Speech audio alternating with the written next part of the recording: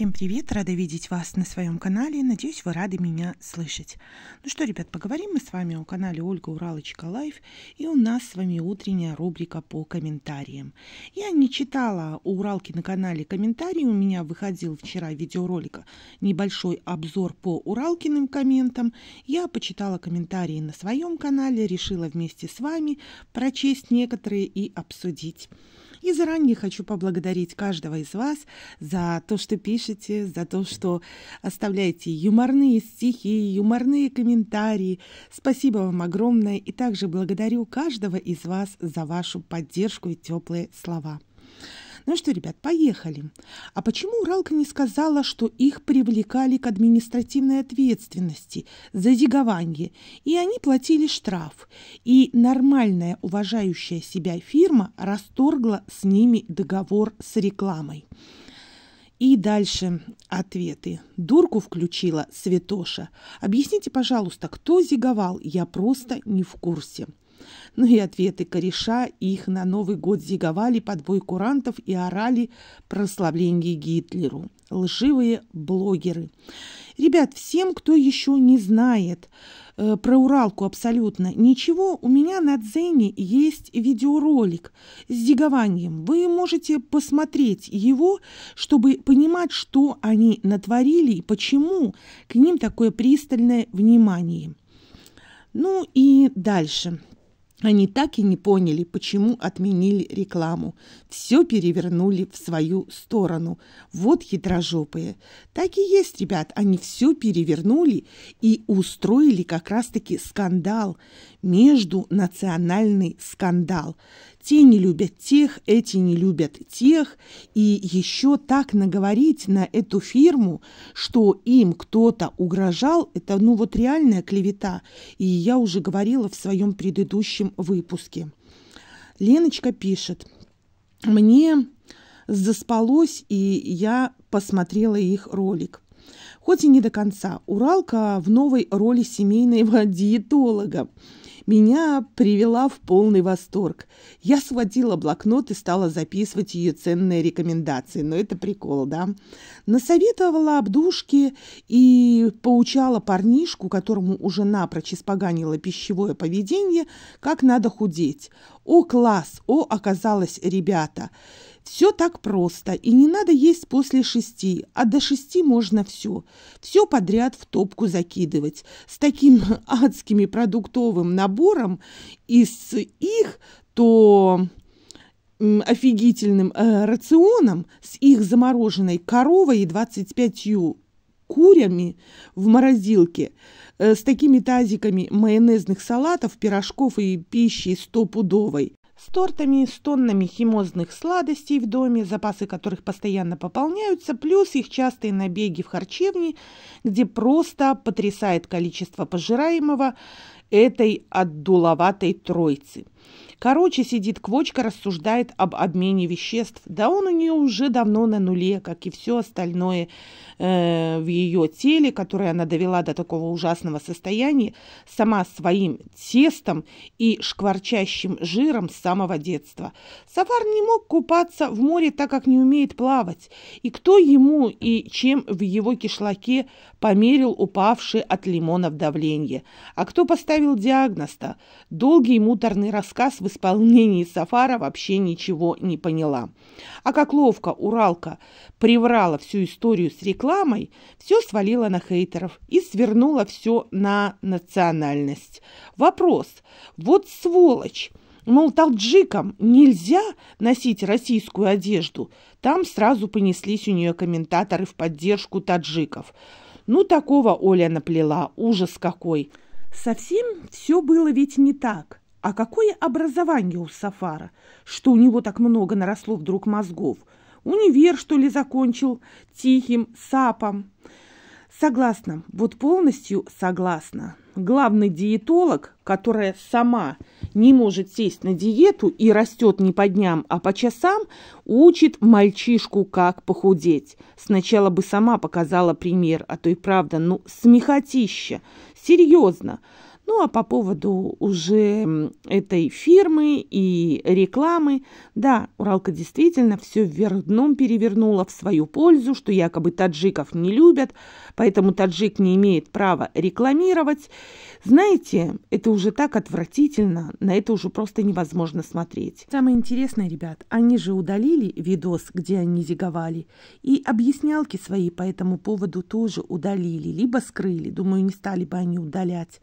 Там, где как раз-таки они сидели с кислыми минами, рассказывали, что они не виноваты, что они сами в шоке, сами удивлены и не ожидали от своего друга такого. Да, это они тоже уже подчистили. Якобы, что вы напридумывали? А ничего же не было, ничего не произошло, абсолютно ничего не произошло. Да, Значит, нет видео и доказать нечем, но только видео есть. И я просто расскажу и покажу и сниму новое видео, закреплю его в Дзене, потому что там вот чисто коротенькое. И чтобы каждый мог посмотреть. И периодически буду поднимать его на своем канале, чтобы все, кто к Уралке заходит из новичков, чтобы много вопросов не задавали, а сразу смотрели. Хотя вы знаете, всякие есть люди. Есть те, которым до лампочки, что они устроили – они, бывает, отвечают, да, когда им объясняешь, почему же такая слава у Уралочки. Они отвечают, а что здесь такого? Так вроде бы как бы и ничего не произошло. И тут понимаешь, что просто это такие же, точно такие же, как и Уралка. И вы знаете, их таких полно. Ну, глядя на комментарии, понимаешь, что таких, как Уралка, полно. Ну и дальше. Все они поняли про рекламу. Просто решили стрелки перевести на национальность. Не поняли, что пропаганда национальной розни, статья, своим скудоумием роют себе канавку. У нас многонациональная страна, но зиговальщиков и нацистов мы не признаем. Я согласна, ребят, на все сто. Очень много национальностей есть в России. И вы знаете, как я говорю... говорила раньше, что все дело не в национальности, а все дело в людях, в конкретных людях и в конкретных ситуациях. А ситуаций у нас с вами было ой как много. Сарафан с Исраилом зиганули, штраф получили, легко отделали. Исраил оскорбил Беларусь, оскорбил меня – и я до сих пор никак не получу ответ от прокуратуры. Почему-то никак не получу. Я не знаю, по какой причине, возможно, еще идет разбирательство, хотя как так долго можно, а возможно из-за того, что я гражданка другого государства, и мне только по этой причине никто не дает ответ. Не могу, ребят, я сказать, сколько было отправлено моих обращений и заявлений, и я показывала вам промежуточные ответы, а окончательные я так и не получила. Да, там были в конце обещания, что я получу окончательный ответ, но окончательного ответа так и нет. Дальше возвращаемся к комментариям. Уралка у моего мужа мозгов очень много. Но это Уралка так сказала.